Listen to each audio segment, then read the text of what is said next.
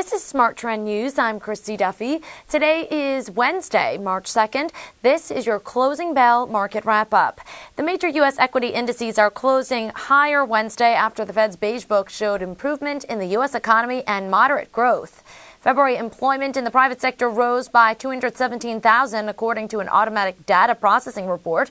Service sector employment rose 202,000 while employment in the goods producing sector rose 15,000.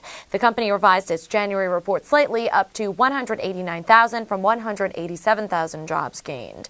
In corporate news, Apple shares rose after Steve Jobs took the stage in San Francisco today to formally introduce the iPad 2.